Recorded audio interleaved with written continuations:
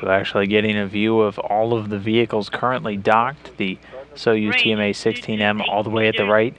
Uh, in the middle there, uh, the uh, Progress uh, vehicle, one of the unmanned cargo ships currently docked to the station, as well as the Soyuz TMA-17M.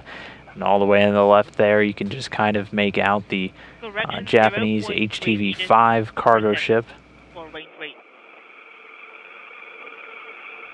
Vehicle in station keeping, fine tuning that alignment now with the Poisk module, which is almost dead center in the screen right here.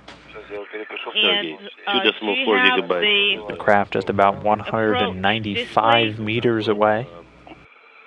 60 meters, and the range rate is point, uh, 28. Copy. We are receiving the image, but it, it is with distortion. We're standing by for the contact. We, uh, there is contact. Okay, let's move slowly. Follow me. And first through Sergei Volkov, his third time on board the International Space Station now.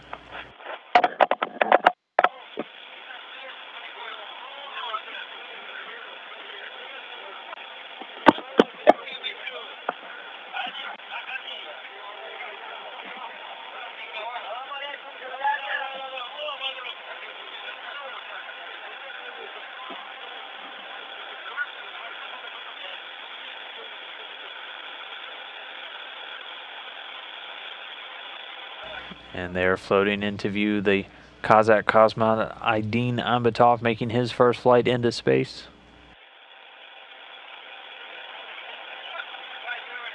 Andy, it's Mats here. Um, I just want to say on behalf of all your friends who've been here and around the world that we're really proud of you. We really enjoyed watching you go up there. Uh, hope you had a good trip so far.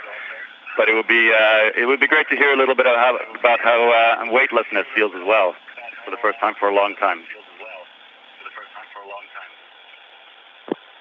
Well, it was a really interesting feeling. As soon as the uh, the rocket stopped and uh, we became weightless, it felt like we did a backflip. And for the first day or so, it felt like I was hanging from my legs with my head downwards. Um, but after about a day, I kind of had, well, I don't know, I, I kind of lost that feeling, and now I feel pretty good about being weightless. But it, it took a while just to, to adapt to it.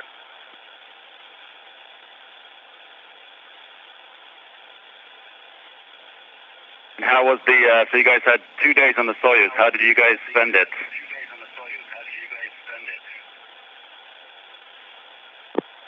Um, sleeping, eating, and then, of course, uh, controlling Soyuz whenever we had to do maneuvers. Thank you very much. We're very proud of you. Thank you very much, and uh, we'll talk to you later. Thank you. Goodbye.